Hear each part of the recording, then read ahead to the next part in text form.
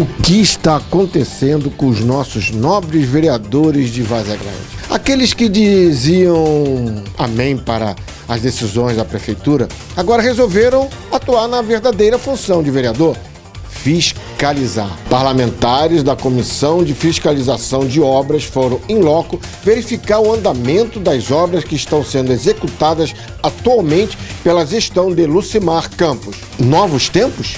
Ou querem mostrar trabalho para a população? É, as eleições são no ano que vem. A polícia prendeu o suspeito Sabino Guia da Silva, de 52 anos, acusado de matar a ex-esposa a paulada e facadas na cidade de Cáceres. O assassino se revoltou depois que a ex-esposa foi cobrá-lo a pensão referente aos filhos que os dois têm juntos. Segundo o delegado, o matador estava escondido tranquilamente, fumando um cigarrinho, descansando, quando os policiais chegaram para prendê-lo.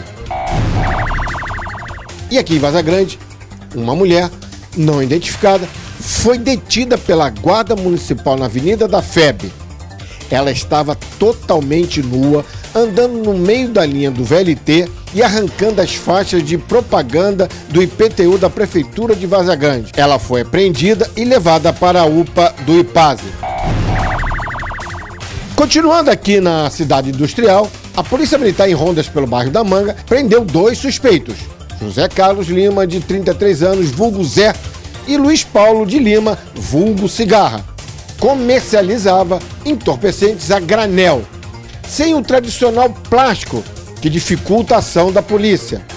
Com ele foram encontrados 72 pedras de cocaína, mais porções de maconha. Essa ocorrência foi às 7h30 da manhã.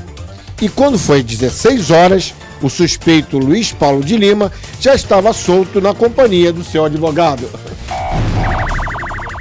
Em Chapada do Guimarães, a Polícia Militar prendeu os suspeitos Matheus N. Carvalho de Almeida e Jesuína Souza Domingos. Eles são acusados de tráfico de drogas naquela cidade.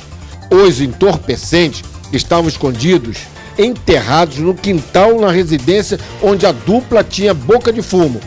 Além das drogas, foram apreendidos dinheiro, munições e armas. A mulher estava com um filho de um ano e meio no colo quando foi presa.